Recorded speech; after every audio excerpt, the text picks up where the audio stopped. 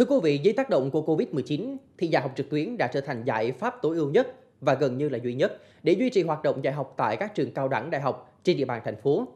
Thích nghi với hoàn cảnh, giảng viên các trường đã chủ động tạo ra không gian giao lưu, phát triển kỹ năng cho sinh viên để khơi gợi hứng thú học tập, tạo không gian mở cho sinh viên. Tiết học của các sinh viên năm 2 khoa quản trị kinh doanh trường Đại học Kinh tế Đại học Đà Nẵng hôm nay sinh động hơn thường lệ vì có đến hai giảng viên cùng tham gia giảng dạy. Bên cạnh truyền đạt kiến thức, các thầy cô giáo cũng chủ động tạo không gian thoải mái để sinh viên có thể cởi mở chia sẻ trao đổi. Thời gian qua khi mà áp dụng việc học trực tuyến trong quá trình mà trao đổi với các bạn thì việc tương tác à, nó diễn ra cũng khá là suôn sẻ. Khi mà làm việc trực tuyến nhiều thì các bạn sinh viên cũng như là cả giảng viên nữa, cả hai phía đều rèn luyện được cái năng lực làm việc à, online. Đó là cái nhu cầu tất yếu của tương lai. Chúng ta rèn luyện được cái khả năng à, làm việc trực tuyến thông qua công nghệ thông tin và cũng à, à, phát huy cái tư duy làm việc dựa trên cái xu hướng là chuyển đổi về công nghệ số.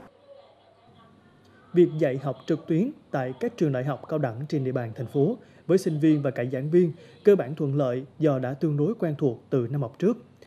Nhiều trường học cũng đầu tư studio để giảng viên chuẩn bị bài giảng cho các giờ học online. Các hoạt động giảng dạy, đối thoại giữa sinh viên và giảng viên các ngành học đều được tương tác qua màn hình máy tính, điện thoại trên các công cụ tích hợp trực tuyến. Thông qua các nền tảng học trực tuyến, sau những bỡ ngỡ ban đầu, bây giờ cả thầy và trò đều rất thông thạo việc sử dụng các phần mềm. Việc dạy học diễn ra thuận lợi và đạt hiệu quả cao. Và với việc dạy học trực tuyến, giáo viên cũng có thể tương tác bằng những trò chơi trực tuyến nhằm tạo thêm hứng thú cho sinh viên khi theo học. Tuy nhiên, đối với một số ngành học như kỹ thuật, công nghiệp, du lịch, dạy học trực tuyến là một trong những thách thức với những học phần thực hành thí nghiệm đa số các trường chọn giải pháp chỉ trực tuyến, những học phần lý thuyết và thực hành tư duy. Các học phần thực hành thao tác kỹ thuật phải học trực tiếp